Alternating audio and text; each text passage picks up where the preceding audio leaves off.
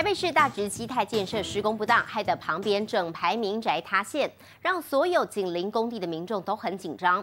中山区就有工地旁的马路上人孔盖周边下陷，居民吓得赶快通报抢修，还好只是因为大车碾压所造成。至于在高雄，明明是晴天，前镇区广西路却出现了一个四米长、两米宽、两米深的大洞，就怕会越陷越大，是否赶紧灌浆填补？明明是大太阳，但怎么路上却出现大坑洞？坑洞超深，里头积水和地下管线看得一清二楚。现场赶紧围起三角锥，就怕拥路人经过不小心摔了进去。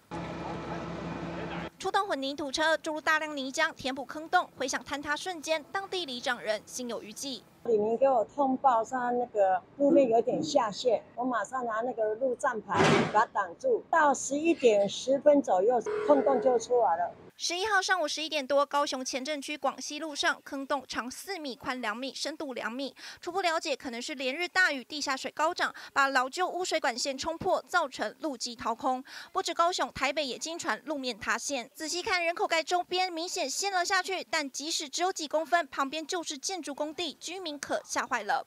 十一号上午，中山区河江街一百八十巷巷口，疑似被一旁工地的大型车辆来回经过，不断碾压，路面才会出现下陷。但就怕。变成大直民宅塌陷第二，民众实在心惊惊。啊，这个咱咱一坑落去啊？系啊，这个咱一坑啊。哎呀，一定惊啊，很担心啊。大家绷紧神经，不敢大意。所幸经过仪器监测后，周围地址都正常，虚惊一场。记者高雄、台北综合报道。